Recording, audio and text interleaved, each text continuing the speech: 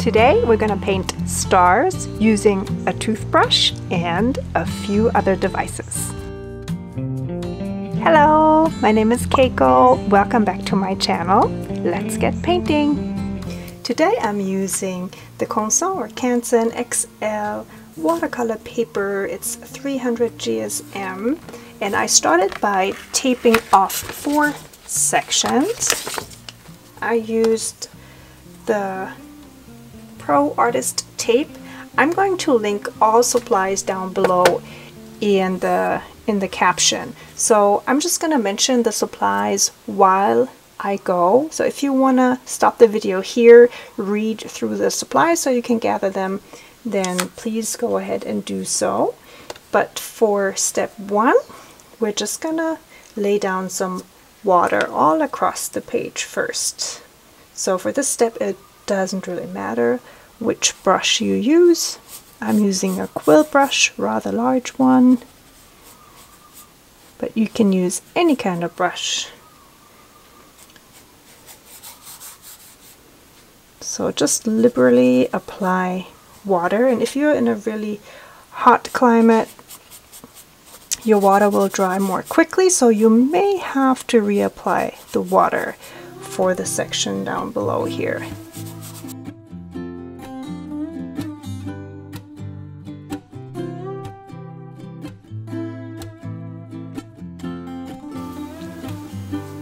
Paper is wet and now we're gonna go in and lay down the first layer. I'm using cobalt blue watercolor. And again I'm linking everything down below and it really doesn't matter what kind of blue you use. For this step you could also use ultramarine blue or just some bright blue that you have at hand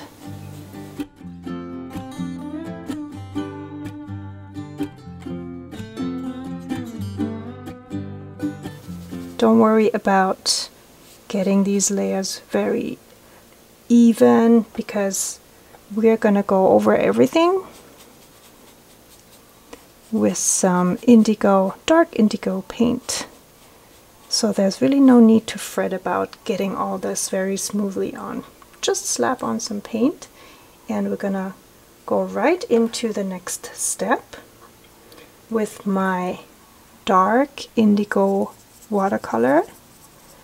If you don't have indigo watercolor, you can just mix some black watercolor with some blue. What I'm going for is just a darker color.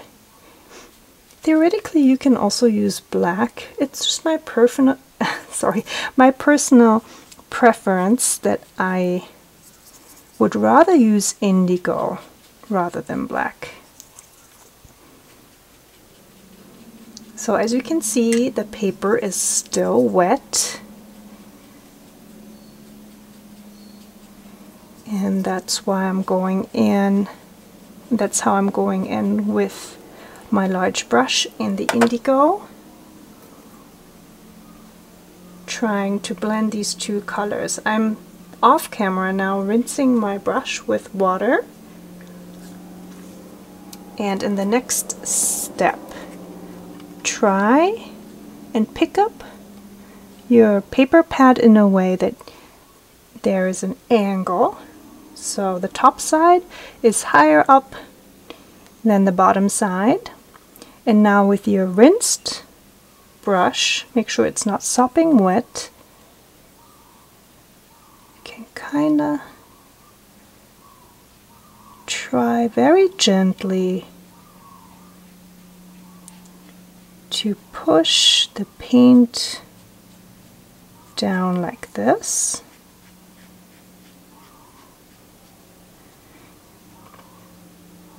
Just a quick note here, the paper I'm using is cellulose paper, so it's not cotton, not cotton at all. If you're using cotton paper, this is probably going to be easier and probably will look even better. But because this exercise today is mostly about to how to create stars in different ways, the emphasis is not so much on creating the perfect gradient background, it's more on the later step about the stars. But of course I still want to show you how you can pull off a beautiful gradient. As you can see, I'm going back in with more indigo to make this layer a bit darker while holding my pad at an angle. If this is too tricky for you, you can of course just look for something you can lay down underneath your pad so that, you know, it holds up by itself and you don't have to hold it with your hand. Let's go back in with the cobalt blue. Your paper should still be at least moist, if not wet. So it does mean that you have to work fairly quickly, and especially if you're using cellulose paper, because that tends to dry more quickly.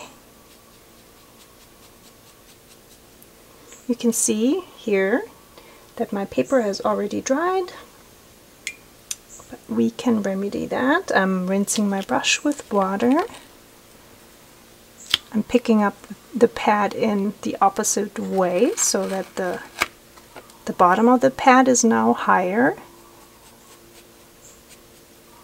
And with the side of the belly of my brush, I'm moving the paint towards the indigo.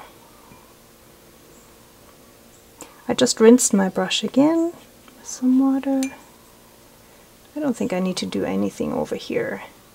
And for the very last round of indigo, get your brush really nice and wet and just add a bit more indigo in a half circle shape with the emphasis on the corners.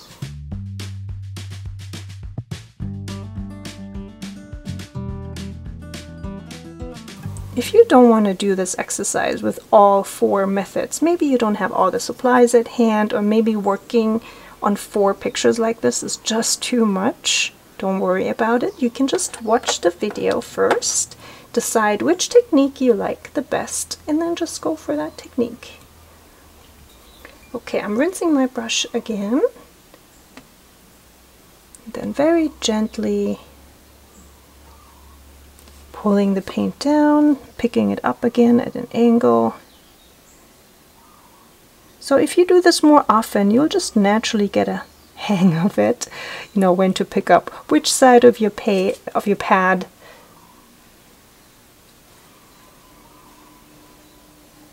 All right.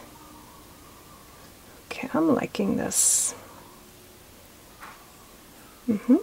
I also like that they're not all the same naturally because this method is it, you know it's almost impossible to reproduce the same picture over and over again which is of course also the beauty of watercolors. For the next step we're gonna have to let the paper dry and I'll see you in the next section. The paper is dry so let's go for our first section here. I'm going to put down some paper towels so that none of the stars from the first panel go into my other paintings. So for the first one, which is just using a round brush, this is a size 6, to flick stars onto the paper. And I'm using some titanium white gouache.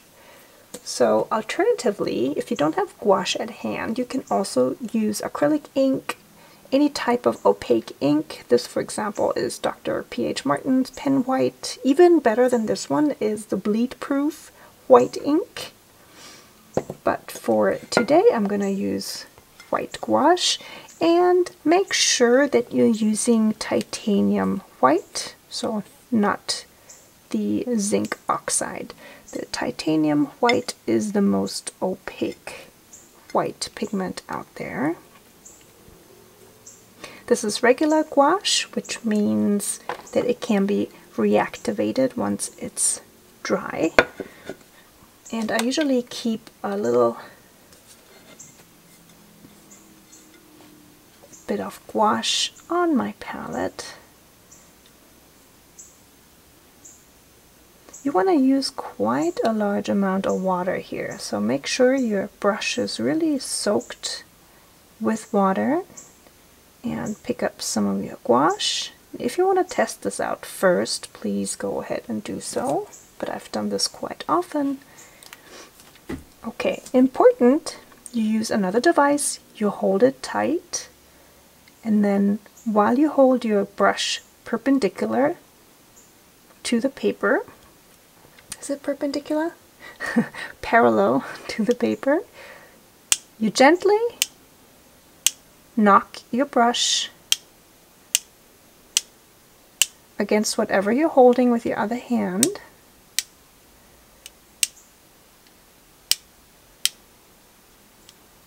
And because I, I used a lot of water on my brush, I have both little tiny splatters and larger splatters, which is exactly what I was going for.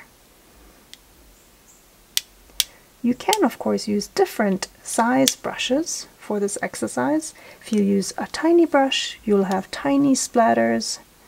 If you use a large brush, you will have larger splatters. The reason you want to hold your brush parallel to the paper and also knock it like this, parallel to the paper, is so that you have round spots and splatters. If you come in from the side like this in a weird angle, you might just get some spots that are not round, but you know, all sorts of shapes. Okay, yeah, I think this is good. And then while we're at it, we can add a little moon shape right here in the center. For the moon, I always recommend that you start tiny, tiny, because for some reason, when it comes to moons, they always seem to get larger. When you try, while you try to make them round, they just tend to get really big. So I always recommend tiny, tiny, starting with a tiny round shape. And you know, you can come back in later and make it bigger if you want to. Okay, let's move on to the next panel. For this panel, we're to use the toothbrush. If you want to make absolutely sure that no splatters come onto your first panel, just let this dry first before you move over to the second step. Okay, so I have also changed my water. So I have clean water again. It was pretty dark blue and I usually recommend using two containers anyways but especially if you want your stars to be brilliant white I recommend that you use clean clean water for this step okay? So I soaked my brush in water.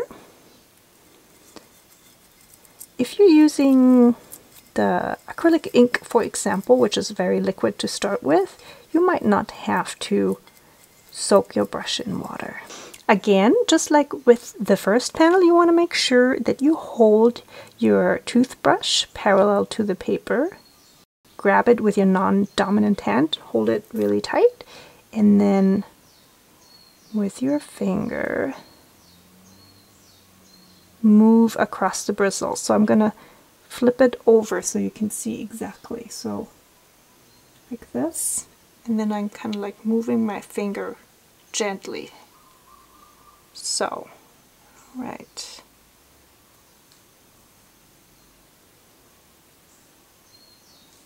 And you can see how beautifully and evenly it splatters. And I think in general, I'd say you can create more tiny stars with this technique. Make sure you don't overdo it. I think it always looks a bit too much over the top if you know there are just too many splatters. I just really love this look though. It's like very even. Okay, let's put this to the side and then of course you can come back in and manually add a few stars. especially if you would like to have a few ones that are larger than the general splatter.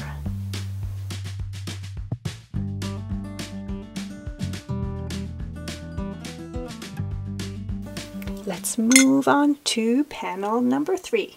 For this one, I'm going to show you how to create stars with a halo. So we first use a soft pastel or a water-soluble crayon to create a halo effect, and then we go back in with a brush and some gouache to set the highlight. So here I have the Unison soft pastels, but it really doesn't matter what brand you use for this step. You can use any kind of soft pastel that you have. Oil pastel works as well. I have to say though, I have better experience with mediums that are water soluble. So Neocolor 2 or this Stabilo Woody is what I would recommend for this one. So you basically just go in and draw in little circles Make sure you don't place your stars in too much of a predictable pattern. You want to have a few clusters and just try to be very random about it. A few bigger ones here. And once you have placed a few spots, go in with a finger and just gently rub if you don't want to do this with your finger, you can also try and use a Q-tip, for example, but I really find that just smudging it with your finger works best for this method.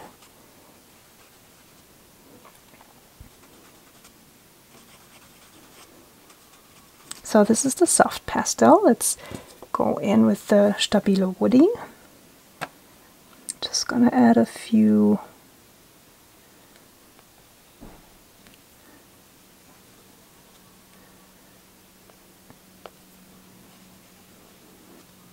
like this. And then of course you can also create bigger halos, so you could start with a larger circle. So I really do find that for this technique the soft pastels work the best. They're just a bit chalky and it blends beautifully with the background.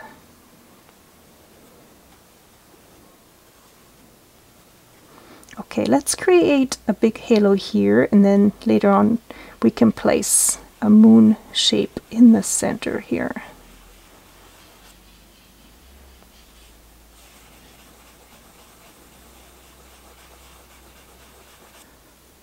All right, and now next step, we're gonna go back to our brush.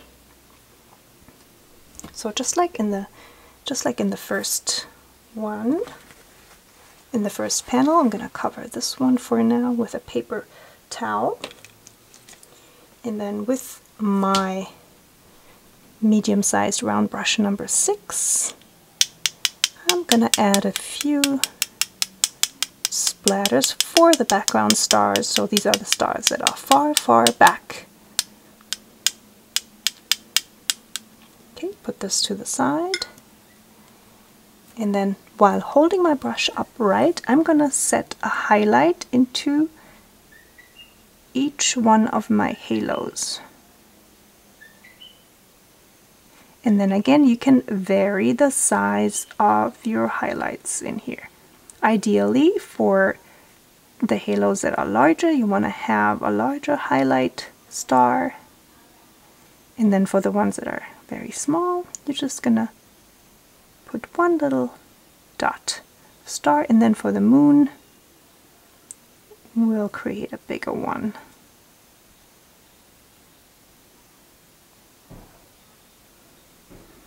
For this panel, the last panel, we're going to do a method that's probably the most difficult, I'd say, out of all four of these. So I'm going to go back to my large quill brush. I soaked it in water and we're going to re-wet the dark part of our panel. Be very careful, don't rub too hard, do it very gently. Rinse your brush, dab it a little bit, and then just continue very gently all across your painting. The reason I'm doing this bottom part here is so that we don't have drying lines. And while this part here is still wet, or you know, I should say the whole panel is wet, I'm gonna pick up the medium-sized round brush again, the one we used for the other panels, and then with some gouache, go in and dip your brush repeatedly onto the same spot. The wetter your paper, the more your white paint will spread. You can also help this along by re-wetting your brush. So I just dipped it, my brush in more water and then go in and see how it kind of explodes on the white on the wet paper. So this is a bit of a trial and error method and I can see that my paper is already dried so I'm gonna go over it one more time and re-wet it. And I think this is probably honestly why this method is the most difficult because you have to kind of judge how wet the paper has to be and you risk some drying edges by re re-wetting the paper like this. And let's put one down here. And then in the next step you dry your brush you wash it first you dry it off really well. And then with your thirsty brush you want to kind of guide your white spots into the background. So you blend it into the background like this. So starting from the center with some gentle strokes, you'll blend it. So this technique is really for those very, very bright stars with a large glow. If you want a more subtle starry night sky, I would recommend any one of the other three methods. And then this one here is more for the for the Big Bang kind of starry skies. You can also use this method if you want to create some nebulae. Nebulae? nebula, nebulae. Okay, and then of course you can also come back in and apply a few more stars by hand. I mean, these ones were applied by hand too. But just directly with the brush and only very, very little paint barely touching the paper so it doesn't explode the same way as the other ones, just barely touch the paper. You can of course also at this point just wait till the paper is dry and then use one of the techniques we used with the different other, uh, with the three other panels to add a few more stars.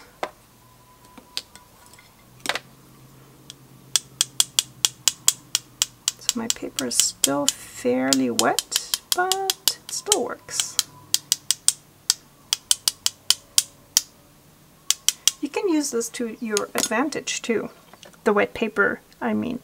So it naturally creates a bit more blurry stars, which might be exactly what you were looking for. So if you want really defined crisp stars, you just wait for the paper to dry before you apply your stars. Or if you want more of a halo, I would suggest that you use either the soft pastel technique to create the halo first and add your center and then the other the other method would be to wet your paper so you have more of um, of an explosion of stars going on. By the way, there is another video on my channel which um, was made by Jenny. So it's one of my guest tutorials here and I'll link it up here in a card if you want to check it out, she describes a few more methods to create stars.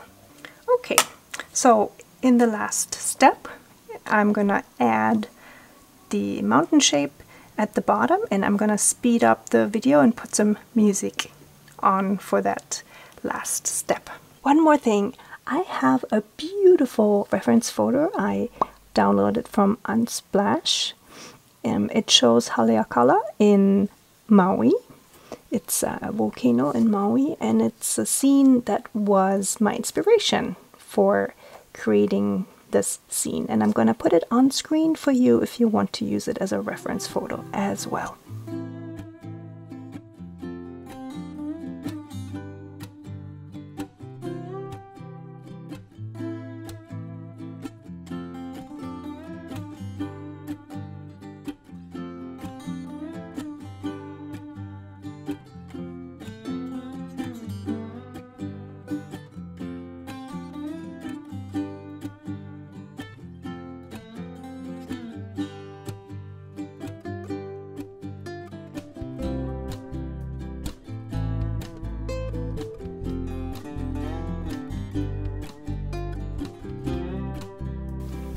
Now for maybe the most fun part, removing the tape. As a tip, try and use a hair dryer on a very high setting. Just blow dry your whole painting with an emphasis on the tape.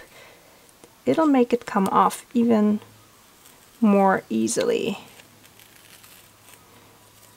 Always gently pull your tape to the side at an angle, like this.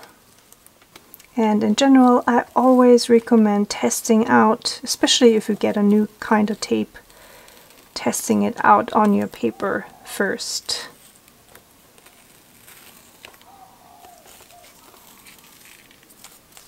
And voila!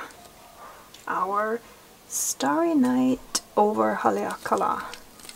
If you enjoyed this tutorial and you'd like to be the first to know about new tutorials, new live streams and also my shop updates, subscribe to my newsletter. I'm gonna leave a link down below.